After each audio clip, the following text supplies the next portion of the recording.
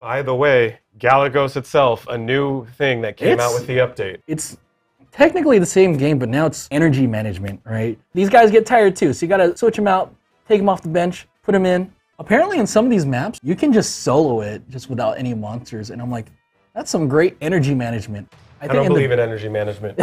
oh, so this is like full on like dungeon dungeon. Yeah, this is a full-on yeah, dungeon dungeon. Yeah. Look at them, they're fleeing.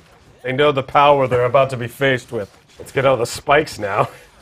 There's Wow, stuff you are everywhere. taking you are taking hits. I just went through four of the different levels. Let us see what we can get. That's pretty good. Legendary scroll piece. You get ten of them things. Five star Devilmon. Always good. Ooh, dang! Look at that. Give give yourself a little crown.